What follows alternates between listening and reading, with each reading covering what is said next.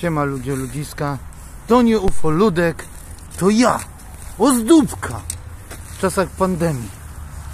Mam taką zgrabną maskę.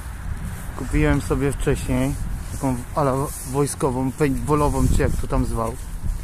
E, na to mam nałożoną maseczkę z filtrem na stałe. A ktoś powie, że bakterie. Nie, ja mam w środku przestrzeń, oddycham sobie.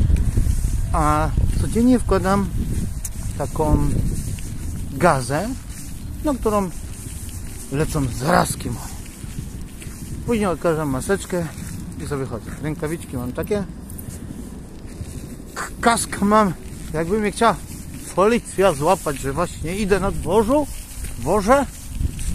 Jeden zwał, tak zwał. Jestem na rowerku.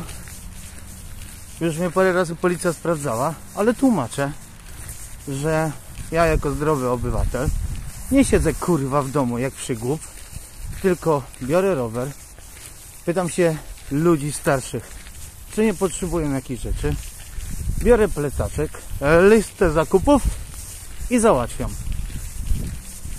I się śmieją, że wyglądam jak obcy. Bez kitu, nie? Kurwa. Nie widać kto. Ciekawe jak pójdę do banku i powiem, że chcę wypłacić pieniądze. Oni powiedzą, że proszę ściągnąć maseczkę. Ewentualnie ściągnę bożątka za. Nie kurwa, szachmat. Wejdę do sklepu, nie będę miał pieniędzy, to sobie coś wezmę. I powiem, że nie wiadomo kto. Nie no, żartuję, ale kurwa co drugi wygląda jak Zorro. Tylko, że zakryta twarz. Kazali nosić maski. No to noszę. Że mnie nie widać. No kazali, to noszę, nie? o, pozdrawiam. Pozdrawiam Euro, a, RTV AGC, które też w chuja cięło, a teraz jest zamknięte.